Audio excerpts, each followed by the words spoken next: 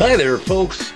You know, I've been hearing from a lot of people on the forum lately about they have a real tough time trying to get their pictures to fit on the forum when they do a post. This video here is intended to help you figure out how to do that.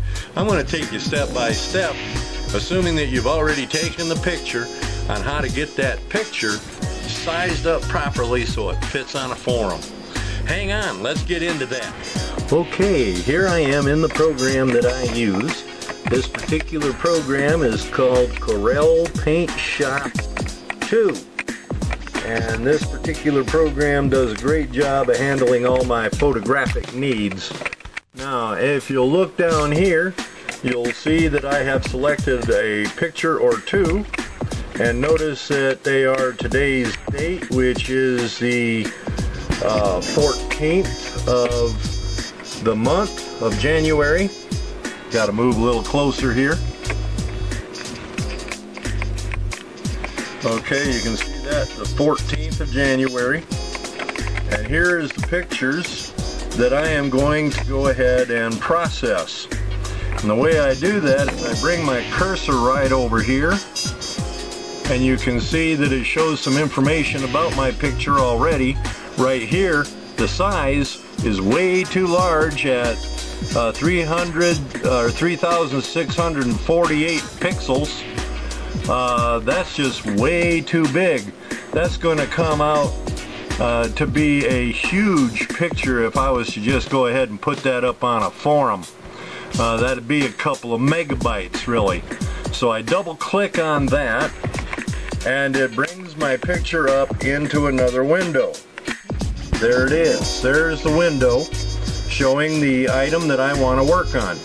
Now once I've got it here, I can do a whole lot of stuff with that picture. For instance, I can come up here, tell it to enhance the photo.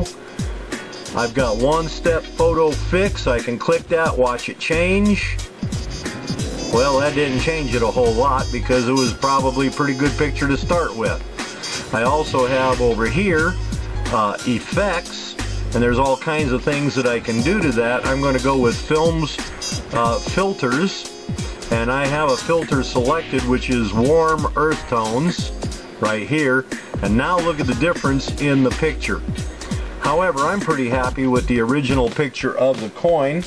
So what we're going to do is focus on resizing that. I come up here, that right there says image. I click on that brings up a drop down box and right there it says resize. So I come into my resize window, I'll see if I can zoom in a little bit on that. And right now it says 3,648 pixels by 2,736. Now I've got these set up uh, so that if I change one, the other is going to change as well. So I just highlight that whole thing and type in 640 and now I look at 640 by 480 pixels. I hit the OK on that and the picture is automatically resized to the uh, 640 by 480 if I go ahead and close that.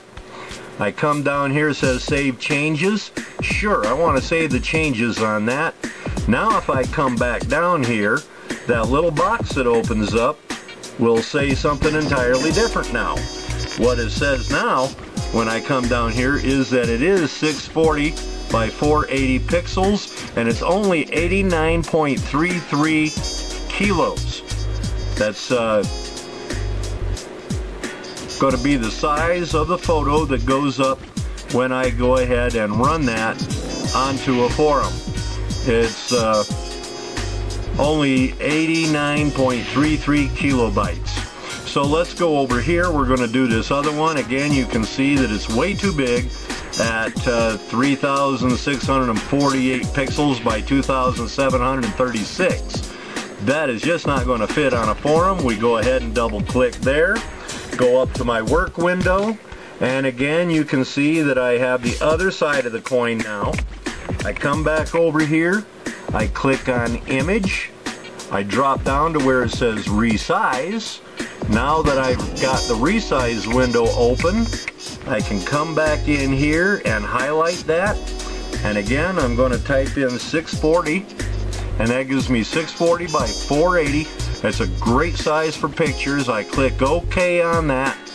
I go up here to the very top. I'm going to go ahead and close that. It's going to say save those changes. Sure, we're going to do that. Now when I come back down here and I put my cursor on that, it's going to tell us that that picture is sized at 640 by 480 at 89.31 kilo. So there we go.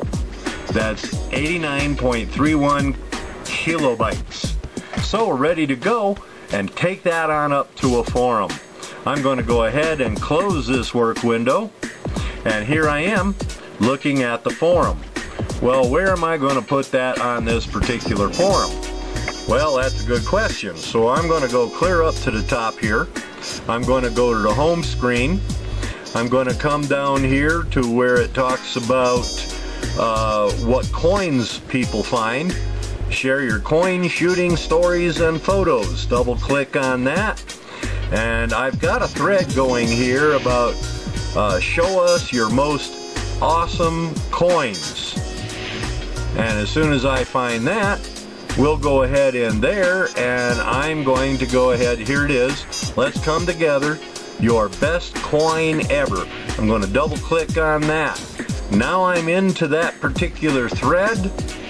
Okay, that's the, that's the uh, place I want to be. And I'm going to go ahead and put a new post in here. I'm going to hit reply because this is an existing thread and that's going to put me in a brand new message altogether. So I hit reply and it's going to take a moment for the reply window to open up. Once it does, I'm going to go down here and I'm going to type up a little nonsense and uh, talk about how I found this coin some time ago.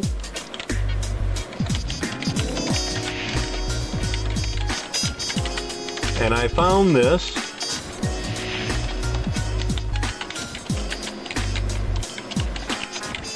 And I was hunting with my partner.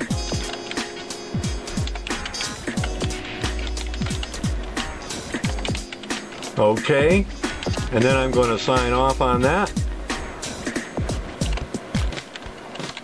Now I'll probably go back in later and edit it so that it's a little bit more flowery in terms of speech.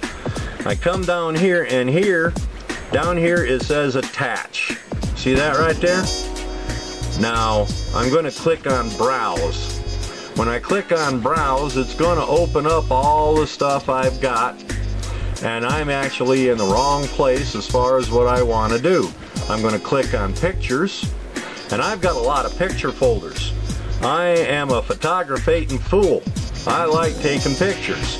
So I come down now, and I need to find today's date.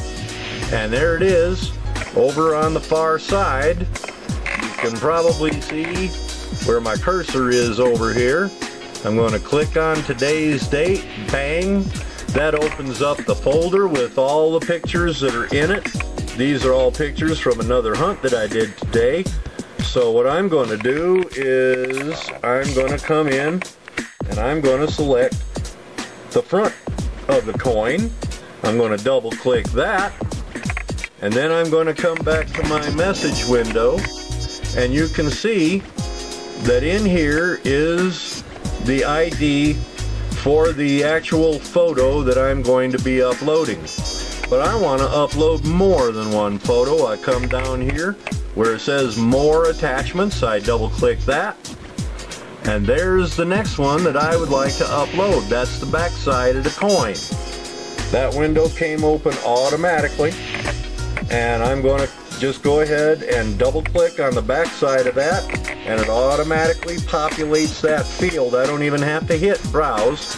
It already did that for me.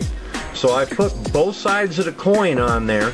I go ahead and I swing on down toward the bottom here so that I can get to where it says okay I'm ready to go ahead with my post now if I wanted to look at it before posting it, I could come over here and click on preview, but right now I'm going to go ahead and hit post. Bingo. It takes a little bit, the screen goes, and in a minute here, there's my coin. And you can see that my post is all up there. Here's the coin I found up in Divide while hunting with Pipster. There it is. There's my avatar over there on the left. Here's the coin. And if I slide down just a little bit, move down, there's the back side of the coin. So there you have it. There's the easy way to go ahead and resize photos so that you can put them and notice that that fits this window just flat perfect. It just goes in there absolutely perfect as far as size is concerned. Looks good and uh, I've got my post up and everybody can see this coin that I found on a hunt some time ago when I was up and divide with Pipster. Alright, that's all she wrote for now. Until later, y'all have good hunting out there and we'll catch you on the flip side. Bye bye.